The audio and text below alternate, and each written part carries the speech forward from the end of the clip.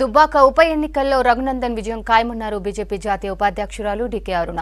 రఘునందన్ రావు తరపున ఆమె ఎన్నికల ప్రచారంలో పాల్గొన్నారు. దుబ్బాకను డెవలప్ చేయడంలో టీఆర్ఎస్ ఫెయిల్ అయిందని విమర్శించారు. దుబ్బాక ప్రజలు అనేక సమస్యలతో ఉన్నారని మార్పు కోరుకుంటున్నారని తెలిపారు. టీఆర్ఎస్ కాంగ్రెస్ కుమ్మక్కయ్యాయంటున్న డీకే అరుణతో వెంకటేష్ ఫేస్ టు ఫేస్. ప్రచారం కీలక ఘట్టానికి చేరుకుంది. బీజేపీ జాతీయ ఉపాధ్యక్షురాలు డీకే అరుణ దుబ్బాక నియోజకవర్గంలో పర్యటిస్తున్నారు. ముఖ్యంగా రోడ్ షోల ద్వారా అభ్యర్థి రఘునందన్ రావుతో కలిసి ప్రచారం నిర్వహిస్తున్నారు ఆమె మనతో పడ్డారు ప్రజలందరూ కూడా ఇక్కడ మార్పు కావాలని కోరుకుంటున్నారు. గతంలో నాలుగు సార్లు ముచ్చంరెడ్డి గారిని గెలిపించినాం నాలుగు సార్లు రామలింగారెడ్డి గారిని గెలిపించినాం. తెలంగాణ రాష్ట్రం ఏర్పాటైన తర్వాత రెండు సార్లు టీఆర్ఎస్కి మేము ఓటేసినాం. సో ఇక్కడ ఎలాంటి అభివృద్ధి కార్యక్రమాలు కానీ ఎలాంటి అంటే ప్రజలకు ఇచ్చిన హామీలు కానీ గ్రామాలలో డెవలప్మెంట్ వర్క్స్ విషయంలో కానీ ఎక్కడ ఎలాంటి హామీలు నెరవేర్చలేదు. చాలా నిర్లక్ష్యానికి గురి చేసి నియోజకవర్గాన్ని ఏమాత్రం కూడా పట్టించుకోలేదు. ఎన్నికల్లో చాలా ఉత్సాహంగా ప్రతి గ్రామంలో ఉన్నటువంటి యువత మొత్తం వన్ సైడ్గా బీజేపీని గెలిపించాలనేటటువంటిది మార్పు రావాలనేటటువంటి ఒక గట్టి దృక్పథంతో ఉన్నటువంటి పరిస్థితిని ప్రతి గ్రామంలో చూస్తా ఉన్నా. తప్పకుండా బీజేపీ భారీ మెజార్టీతో ఇక్కడ నుంచి గెలుపొందుతుంది. ఈ ఎన్నిక ఖచ్చితంగా ఒక మంచి మార్పు ఒక మంచి సంకేతాన్ని రాష్ట్రానికి ఇస్తుంది.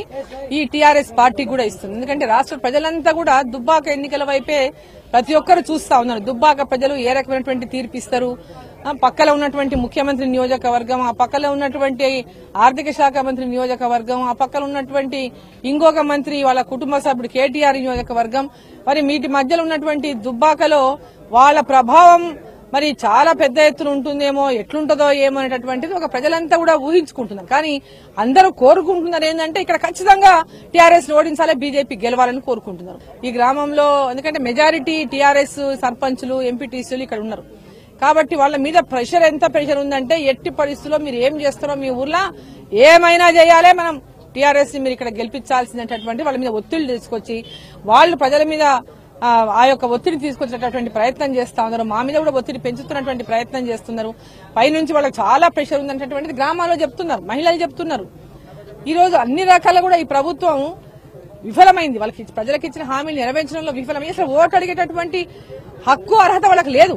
ఖచ్చితంగా ఈ నియోజకవర్గం అభివృద్ధిలో చాలా వెనుకబడి ఉంది అసలు డెవలప్మెంట్కి కంప్లీట్ దూరంగా ఉన్నటువంటి రోడ్లు సరిగ్గా లేవు గ్రామాల్లో డ్రైన్స్ లేవు గ్రామాల్లో కొన్ని గ్రామాల్లో తాగునీటి వసతి కూడా సరిగ్గా లేదు. గ్రామాల్లో ఇండ్లు లేనటువంటి చాలా బీద కుటుంబాలు ఉన్నాయి. చాలా సమస్యలతో నా గ్రామాల్లో డెవలప్మెంట్ లేక ఎన్నో సమస్యలు ఉన్నాయి.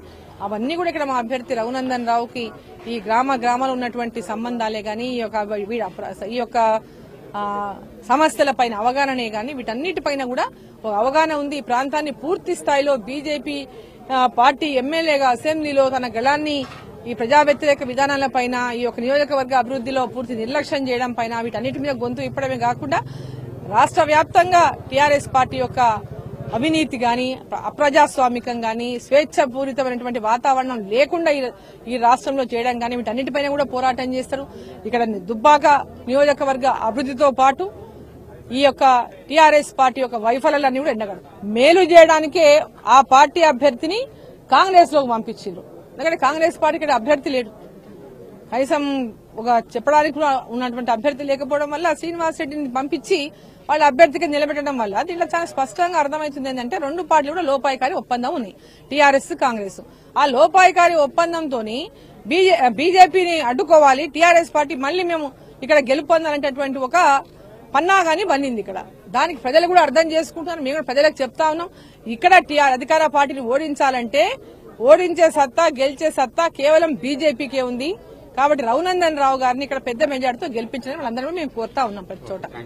ఇది మనకు డీకే అన్న చేస్తున్న ప్రచారంలో ముఖ్యంగా ప్రభుత్వ వైఫల్యాలను ప్రజలకు వివరిస్తూనే బీజేపీ కనుక ఇక్కడ గెలిస్తే ఎట్లాంటి అభివృద్ధి చేస్తామని చెప్తున్నారు. అదేవిధంగా కాంగ్రెస్ పార్టీ అభ్యర్థి టీఆర్ఎస్తో కుమ్ముక్కయ్యారు. ఓట్లు చీల్చేందుకే అప్పటికప్పుడు కాంగ్రెస్ అభ్యర్థిని కాంగ్రెస్ టీఆర్ఎస్లో ఉన్న అభ్యర్థిని కాంగ్రెస్ పార్టీలోకి పంపించారని చెప్పి డీకే అన్న ఆరోపిస్తున్నారు. కెమెరామెన్ కవికుమార్తో వెంకటేష్ విసిట్ న్యూస్ దుబ్బాక నియోజకవర్గం గంభీర్పూర్ నుంచి.